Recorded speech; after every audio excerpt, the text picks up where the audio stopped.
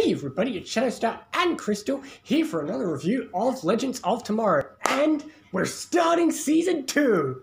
and Oh, bo- we got Oliver and a new guy, and people are back, and it's awesome. there's so much in this episode. So if you thought, oh, I don't know, season one was kind of alright, this episode proves to you that season two is going to be great. In one episode, this episode proves, yeah, don't worry, season two is going to be good. Oh yeah. All right, but let's start at the start. Let's not. Let's start at the start with our brand new character, Nate Heywood, who, yeah, we already got a brand new legend, and he's already way better than the Hawks. Okay, okay. My question is, how can Nate notice changes in history?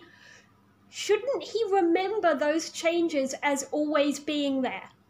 Well, I don't think he's noticing the changes. He's noticing things that don't quite match up, like things that most people would look over. No, most people are going to overlook those tiny things, but.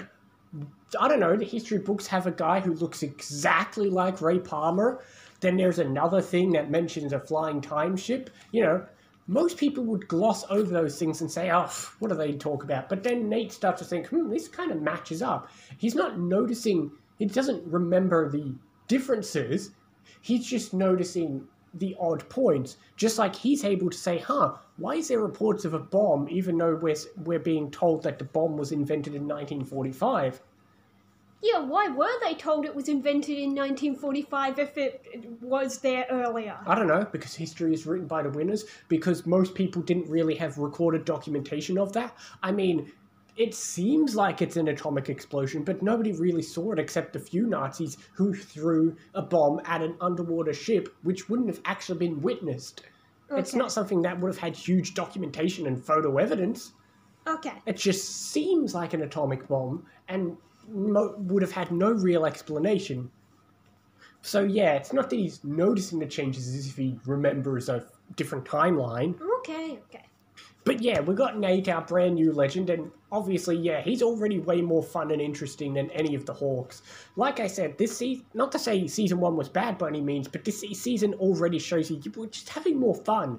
It's still a good, it's still exciting, and it's still going to have its serious moments, but it just feels more fun. Oh yeah, the team is so fun together. The team is so fun. Obviously, Oliver gets to make an obligatory cameo in this episode just for the fun of it. Yeah, like we started off with a random mission to show us what a regular oh, mission Oh god, that is. scene is amazing.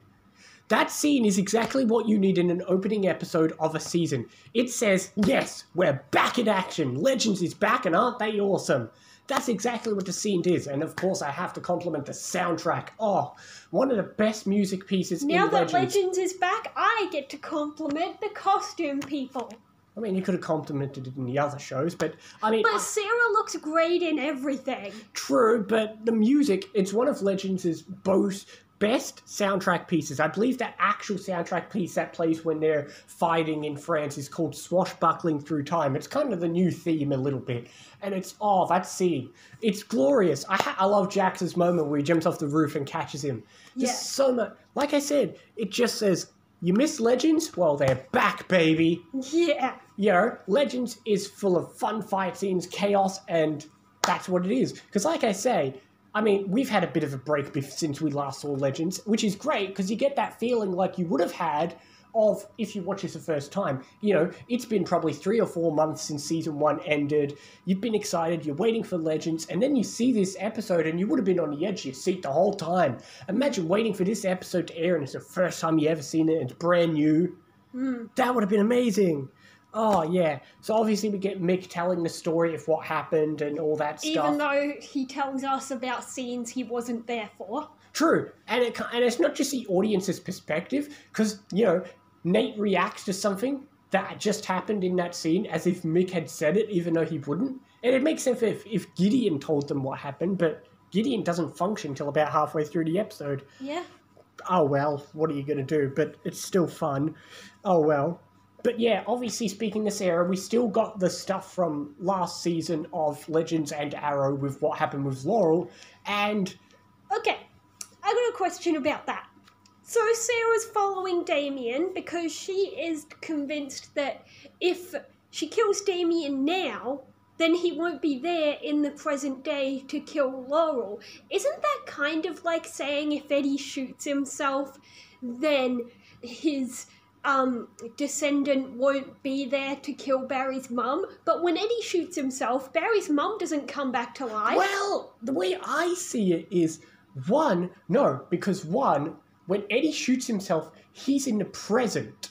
There's if- no such thing as present. No, if somehow Barry had gone back in time and like killed young Eddie, then came back, he'd be in a new timeline. You don't feel Eddie t- is still dying No. before he can have a child. you don't feel the timeline changes around you. If you popped back out of the timeline, then back into it, it's sort of like in Back to the Future, where Marty and Doc will not feel the changes of Biff's messing up the timeline until they time travel a second time.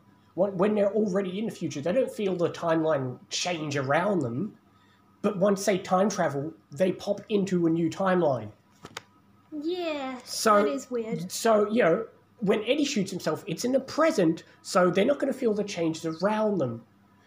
But it still doesn't explain other things. Although you could also argue that Eddie, that both Eddie and all the stuff surrounding like Eobard Thawne and his and Barry's mother's death are the results of time travel. Whereas here, Damien Darhk isn't a time traveler. He's living his normal linear life. It's more like killing Damien is similar to saying if we kill young Savage, then Rip's family would survive, which was the sound plan. And slight spoiler, Legends will prove that its version of time travel shows that you can change somebody's past and make somebody come back to life by doing things. So there's also ideas of the fact that there's different methods of time travel, speed force time travel and temporal zone, and perhaps they have different rules on how they affect the timeline. That's annoying. It's annoying, but it's a, because it's a different method. It's also a convenient way to explain why. Obviously, you know the Flash writers and the Legends writers don't quite have different, don't quite have the same views on how they handle time travel. So you can at least say. In universe, you can say speed force and temporal zone time travel has different ways of working. Speaking of Speed Force, look who we've got. So, all right, we'll skip ahead of back. So, if you were just excited to say, "Hey, Damien Darhk is here," we don't just have Damien Darhk. we have Eobard Thawne, played by Matt Letscher. So we have not one but two villains. I mean, you know, as we said, we want a villain who's better than and Savage. You got two of them. we took two of your favorite villains. I know people have issues with season four of Arrow, but Damien Darhk is amazing, and and everyone loves a Reverse Flash. And like I said, I love Reverse Flash played by Matt Letscher, and thank God for Legends season two. Oh boy, what a cliffhanger to end on! Like we're, I'm excited because I love him, but like I said, that's a holy shit moment. You think, okay, Damien Darhk, that makes sense. Whatever, we're gonna deal with the Sara stuff. Then boom, Reverse Flash shows up. Put yourself into perspective of somebody who's never seen it. That's a big one. Yeah. Oh boy, Another big thing, especially for comic fans, is the JSA. that's another cliffhanger. Of course, it was mentioned before because we got the name Rex Tyler before. Yeah, last season Rex Tyler showed up and said he's a member of the JSA, and they kind of talk about it, and then we obviously. But now here they are. now here they are as well. Because we are in the year that we were told not to go to. True, but it all worked out in the end. But obviously, we'll see what happens next time with the whole JSA stuff. Let's that whatever. That's just an exciting cliffhanger. But you know, also here's another wrinkle. So you know how I said in um, you know how I said in Flash season three how you were complaining how does Barry's Flashpoint make all these odd changes? Well, it's not just Eobard Thawne time traveling there's time pirates. We clearly see people can time travel, not just legend, but clearly other people do have time tr- methods of time travel. Mm. So I don't know. A time pirate, r- time pirate ran over Dante. Look, it's a ripple effect. That's a beautiful Yes, thing. but if it's You don't even need a flashpoint. You could just say if something gets inconsistent, a time pirate did it. Yes, but if a time pirate did it, then Cisco and Barry and everyone wouldn't remember any different. Right? Well, a time pirate did it, but then we don't know how they did it. All the, all we, what if a time pirate just drove a car and killed Dante? They didn't mean to. He just happened to be there. Cisco remembers, oh shit, some guy ran over my brother. Yeah. Wouldn't you? What do you mean they wouldn't remember him any different? Cisco But does Barry remembers Dante not being dead. because he comes from a different timeline. Look, time travel is weird. But it, well, also, when you're a time traveler, you're immune to effects. Just like, spoiler alert, the legends are going to remember pre Flashpoint. Ah, yeah. So, yeah, even if you're not the direct cause, if you're outside the timeline, you will be immune to the changes. Oh, yeah. Well, yeah, they haven't been to 2016 in a while, so. Yeah. Of course, they're going to remember baby Sara and anything else that's changed. Yeah, so yeah.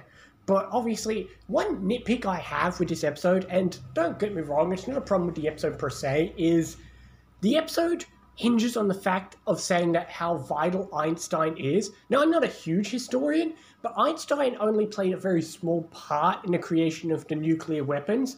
And you know, he was a very he had a very minor role in the Manhattan Project. There were made way more people like Feynman, Wasn't Oppenheimer, Oppenheimer. And Feynman had bigger roles than Einstein. And then they say, oh, it's not even Einstein, it's his wife who we've never heard of. Yeah, when I Don't get me wrong, researched the don't get me atomic bomb, Legends- the main name I heard was Oppenheimer. Yeah, whatever. But that's the thing, though. Legends has never been about hit- historical accuracy. So what? Although that's one thing I love about Nate is because he's a historian. He doesn't really do it too much now, but he kind of brings a not a fourth wall breaking, but you know, there's episodes where if things are inaccurate with history, Nate actually pops up and says, "Oh, this isn't right." But we just run with it. It's almost like Nate speaking for the audience, saying, "saying Oh, this is wrong, but we'll just run with it anyway." Mm, I don't know. I kind of like that. It's like, eh, we're going to be wrong, but if you point it out, it's a bit funny. yeah, But yeah, but man, there's a lot of action in this episode. You got the action scene when they're in the French house. You got the action scene where they're fighting the Nazis. You got Sara versus Damien Darhk. There's so much stuff, and yo, it's so great that they continue it. I mean, obviously you knew Sara would probably still be grieving, but the fact that you know we're gonna have suddenly have Damien Darhk, and they don't even make a big fuss about it. He just walks in. It's like, oh, I guess Damien Darhk's part of the season. even though um, it was mentioned at one point that it's been six months, and yet she hasn't gotten over it. Oh well, it's been how many months for uh, Quentin, and he hasn't gotten over Laurel either. Hmm. Oh well, and, and she's got a time machine. So, and how long had it been for Rip Hunter? True. We spent a whole season worrying about his problems, and we don't know how much time it was taking. And I love If she knew where to find him, if she was really wanted to save Laurel, she could get in the jump ship and try and find baby Damien when he's easy to kill. Well, there would be no way of finding him. He was born hundreds of years ago. How are you going to know when he is? Mm. It's like saying, why don't we go find baby Vandal Savage? but oh well. And then, you know, after all that, then we're back at, then we're back with Nate and we gotta go find the team because Rip time scatters him. So then we get all the fun sequence of finding the team again, putting the team back together. And it's just seeing fun, seeing the team get back together, seeing the team be a team. Oh yeah, definitely. I mean, like I said, last season we got rid of the worst aspect, which was the Hawks, and now the team just feels neat. It just fits, you know? This I guess they somehow managed to program the time scatter to keep Jax and Stein Yeah. together. I guess, well, I mean, they programmed it, so they probably knew to do it. I don't know how, how, but maybe they knew we have to make sure these people scatter together. Although, if it's by that logic, why couldn't they scatter them all together? Yeah, exactly. I don't know, but at least it's smart enough to keep them together, otherwise they would have been screwed, but hmm. oh well. We also don't know how long they were in the past anyway, because Jax's phone was still working. And in my experience, my phone would be lucky to last 48 hours, even if I was trying my best not to use it. Still, it wouldn't And he asked the And kid, he "Do you want to look it. in it again? I know. again?" I know. You would be barely using your phone, if ever. My only theory is that maybe they were somehow using their Firestorm powers to you power the battery with nuclear power. I don't know. Can you do that? Well, look, I don't know how Firestorm works.